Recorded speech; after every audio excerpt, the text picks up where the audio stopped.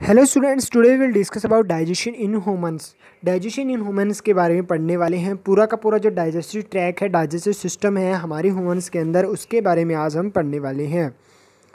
Humans है a well developed digestive system this consist of the gut और eliminative canal along with the associative digestive glands यहाँ पर mouth से लेके जो एनस तक की जो लॉन्ग ट्यूब है, उसको हम एलिमिनेटरी कैनाल बोलते हैं या गट बोल सकते हैं।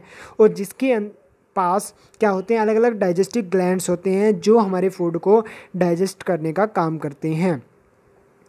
The food that we take in in can provide energy only if it is digested absorbed and assimilated to be distribute to all the parts of the body तो हमारा जो फ़ूड है हमारी जो बॉडी है फ़ूड से कब energy ले पाएगी? जब वो क्या होगा? प्रॉपरली डाइजेस्ट होगा।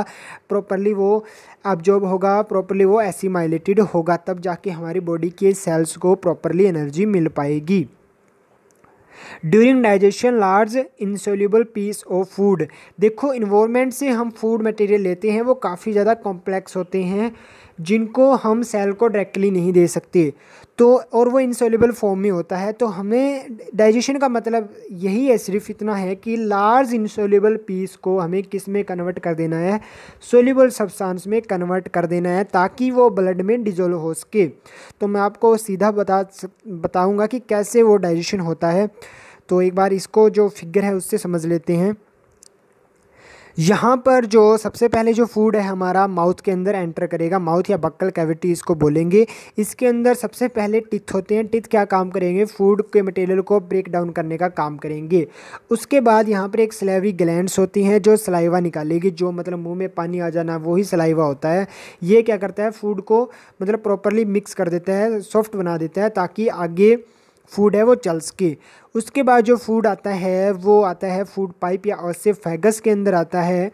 और फ़ूड फ़ूड पाइप के अंदर ही आए, ना कि जो श्वास नली है, हमारी जो ब्रीथिंग ऑर्गन है, जो विंड पाइप है, उसमें ना चला जाए, ये डिसाइड करता है यहाँ पे फेरिक्स फेरिक्स ऑर्गन है मतलब फेरिक्स जो पार्ट है, वो यही काम करेगा। उसके बाद जो फ़ूड मूव करेगा धीरे धीरे उसको फैगस में पैरासिलेटिक मूवमेंट बोलते हैं उसको धीरे धीरे वो फिर आएगा स्टमक के अंदर। स्टमक क्या है? एक जे शेप ऑर्गन है।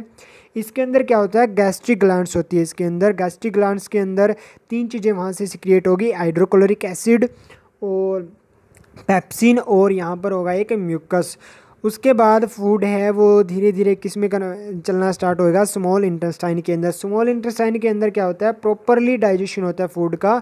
यहाँ पर जो कार्बोहाइड्रेट है, वो शुगर में कन्वर्ट हो जाएगा। फाइनली फैट है, वो फैटी एसिड और ग्लिस्ट्रोल में और प्रोटीन यहाँ पर कन्वर्ट हो जाएगा अमीनो एसिड में। यहाँ पर अब बात करते हैं स्मॉल इंटेस्टाइन में जो फ़ूड है, हमारा बिल्कुल छोटा हो जाता है सोलिबल फॉर्म में कन्वर्ट हो जाता है। तो वहाँ पर उंगली जैसी स्ट्रक्चर फिंगर लाइक स्ट्रक्चर होता है, जिसको हम विल्ली बोलते हैं। तो विल्ली की दूसरी तरफ़ ब्लड स्ट्रीम होती है काफ़ी सारी। तो यहाँ से वो विल्ली क्या करती है, जो भी फ़ूड के सोलिबल सब्सटेंस है, उसको कहाँ ट्रांसफ़र कर देती है ब्लड के अंदर ट्रांसफ़र कर देती है। और वो ब्लड क्या है, हर एक सेल के पास पहुँचता है, हर एक बॉडी ऑर्गन तक पहुँचता है। और उस एनर्जी को वहाँ मतलब जो फ़ूड सब्सटेंस है, वहाँ तक पहुँचा देता है। उसके बाद प्रॉपरली डाइजेशन होने के बाद में जो फ़ूड है हमारा, सबसे जो लॉन्ग ट्यूब है, वो उसके अंदर स्मॉल इंटेस्टाइन है। उसके बाद स्मॉल इंटेस्टाइन के बाद में जो फ़ूड हमारा पहुँचता है, वो पहुँचता है इस बड़ी आंत में लार्ज इंटेस्टाइन के अंदर। यहाँ पर जो बचा खुचा पानी है, वही ऑब्जॉर्व कर देती है, ये जो विल्ली होती है। उसके बाद जो अनडाइजेस्टिव फ़ूड है, जो हमारे काम का नहीं है, वो एनएस के द्वारा बाहर निकल जाता है। तो हमें फ़ूड को ब्रेक डाउन करना है तो वहाँ पर दो प्रकार के एक्शन लगेंगे फ़िज़िकल एक्शन और केमिकल एक्शन फ़िज़िकल एक्शन में क्या, कौन होगा? मतलब वहाँ पर केमिकल कोई काम नहीं करेगा. फ़िज़िकल रूप से हम क्या करेंगे? फ़ूड को ब्रेक करने का काम करेंगे. तो यहाँ पर सबसे पहले जो काम करेंगे, वो हमारे टिथ करेंगे, वो फ़ूड को क्या करेंगे चोविंग करेंगे ताकि वो क्या होंगे मतलब ब्रेक कर देंगे वो सॉलिड फ़ूड को छोटे छोटे पीस के अंदर। Churning by the stomach to mix the food with a gastric juice वहाँ पर मंथन होगा इस स्टमक के अंदर क्या होगा, कुछ गास्टिक जूस निकलेंगे, वो क्या करेगा मतलब थोड़ा बहुत ये रिलैक्स वगैरह कॉन्ट्रैक्शन वगैरह करेगा, इससे क्या होगा, जो फ़ूड के अंदर क्या है गास्टिक जूस वहाँ पर मिक्स हो जाएँगे। तो ये एक फ़िज़िकल मेथड है। उसके बाद बात करते हैं केमिकल एक्शन मतलब केमिकल का मतलब एंजाइम्स बायो कैटलिस्ट होते हैं, ये एंजाइम ये क्या करेंगे? मतलब जो फ़ूड को क्या करेंगे? सिंपलर सब्सटेंस में कन्वर्ट करने का काम करेंगे। वो क्या करेंगे? कार्बोहाइड्रेट देखो, तीन चीज़ें होंगी यहाँ पर। कार्बोहाइड्रेट फैट्स प्रोटीन कार्बोहाइड्रेट को फाइनली किसमें कन्वर्ट करना है? शुगर के अंदर सिंपल शुगर के अंदर फैट को फैटी एसिड और ग्लिसरॉल के अंदर प्रोटीन को अमीनो एसिड में। तो एंजाइम्स क्या होते हैं? ये डाइजेस्टिव जूस होते हैं, जो मतलब कि डाइजेस्टिव सिस्टम के अंदर जो सेल्स होती है, वो ये तैयार करते हैं। The eliminatory canal is the long tube tract तो ये एलिमिनेटरी कनाल का मैंने पहले ही बता दिया माउथ से लेके एनस तक जो भी ये मतलब लॉन्ग ट्यूब है, ये वाली ये वाली जो ट्यूब है, जिसके अंदर स्टमक है स्मॉल इंटेस्टाइन है लार्ज इंटेस्टाइन है, ये पूरी की जो लॉन्ग ट्यूब है, उसको हम क्या बोलते हैं एलिमिनेटरी कैनाल या गट बोल सकते हैं। उसके बाद जो अलग अलग डाइजेस्टिव एंजाइम्स हैं, जैसे माउथ के अंदर सिलेवरी ग्लैंड्स क्या करेगी अमाइलेज एंजाइम निकालेगी स्टमक के अंदर गास्ट्रिक ग्लैंड्स होगी पैनक्रियाज के अंदर पैनक्रियाटिक जूस निकलेंगे लीवर के अंदर बाइल जूस निकलेगा स्मॉल इंटेस्टाइन के इंटेस्टाइनल ग्लैंड्स होंगी। यहाँ पर माउथ के अंदर अमाइलेज होगा, जो स्टार्च को शुगर में कन्वर्ट कर देगा। स्टमक के अंदर सिर्फ़, जो पेप्सिन है पेप्सिन मतलब प्रोटीन प्रोटीन पेप्सिन जो एंजाइम है प्रोटीन को पेप्टाइड्स और अमीनो एसिड में कन्वर्ट कर देगा। उसके बाद जो पेनक्रेटिक जूस है, उसमें तीन प्रकार के एंजाइम्स निकलेंगे, ट्रिप्सन कार्बोक्सी पेप्टाइडेज अमाइलेज और ये लाइपेज मतलब सारे एंजाइम हैं। ये अलग अलग जैसे प्रोटीन को कोई डाइजेस्ट कर रहा है, कोई लिपिड्स को, कोई स्टार्च को तो फाइनली ये किसमें कन्वर्ट कर देंगे? शुगर और अमीनो एसिड के अंदर। उसके बाद बाइल से क्या निकलेगा? बाइल जूस निकलेगा। यहाँ पर जो लीवर है, उसके अंदर एक गाल ब्लेडर होता है, उसके अंदर बाइल जूस होता है। वो क्या करता है? उसके अंदर बाइल जूस होता है जो फैट्स ग्लिसरॉल को फैटी एसिड में कन्वर्ट कर देंगे। स्मॉल इंटेस्टाइन के अंदर भी इंटेस्टाइन ग्लैंड्स होते हैं जिसके अंदर जूस निकलेंगे या मतलब एंजाइम्स बोल सकते हैं। अमीनो पेप्टाइडेज और माल्टेज निकलेगा। ये क्या करेगा? पेप्टाइडेज और माल्टेज को ग्लूकोज और सिंपल शुगर में कन्वर्ट कर देगा। मतलब जो भी बच्ची कुछ कार्बोहाइड्रेट है उसको क्या क्या है? कन्वर्ट कर देंगे। उसके अंदर हम बात करते हैं डाइजेशन इन माउथ। मतलब माउथ के अंदर क्या क्या वहाँ पर होता है? Food is ingested by us through mouth तो मतलब जो इंजेक्शन का काम होता है हमारे, सबसे पहले जो फ़ूड है वो कहाँ एंटर करेगा? माउथ के अंदर एंटर करेगा। तो यहाँ पर माउथ के अंदर तीन चीज़ें आपको मिलेगी। टंग मिलेगा टिथ मिलेगी और सेलेवरी ग्लैंड्स मिलेगी। टंग क्या करेगी? फ़ूड को मिक्स करने का काम करेगी। टिथ क्या करेंगे? वो क्या करेंगे? जो सॉलिड फ़ूड है उसको ब्रेक करने का काम करेंगे। और जो स्लेवरी ग्लैंड आपको मैंने बता दिया, उसके अंदर से सलाइवा निकलेगा वाटरी फ्लूड निकलेगा, जो क्या करेगा, उसमें एक एंजाइम होगा सलाइवी एम आइलेज और ये क्या करेगा फ़ूड को काफ़ी नरम बना देगा सॉफ्ट बना देगा। जो process of chewing is called mastication जो चबाने की प्रोसेस उसको मेस्टिकेशन बोलते हैं। यहाँ पर अलग अलग आपको टिथ दिख रहे हैं इंसीजर कैनिन प्रीमोलर और मोलर टिथ क्या होते हैं? टिथ क्या करते हैं? हमारे जो फ़ूड को मतलब कट करने का काम करते हैं। काटने का काम करते हैं, छोटा बनाने का उसका काम करते हैं। तो सबसे पहले जो टिथ का टाइप है incisor there these are the front eight teeth मतलब जो आगे वाले आठ जो दांत है, उनको हम इंसीजर बोलेंगे।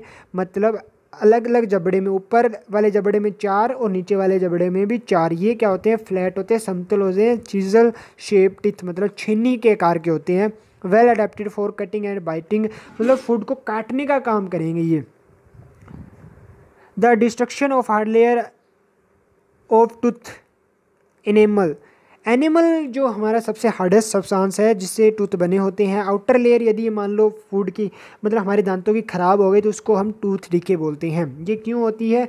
कई बार क्या होता है फ़ूड पार्टिकल्स हमारे दांतों में जमे रह जाते हैं। तो वो फाइनली मतलब वहाँ पे एक एसिड जनरेट होता है, वो एसिड क्या करता है, हमारे जो टूथ है, उनको ख़राब कर देगा। तो उसको हम टूथ डिके बोलेंगे।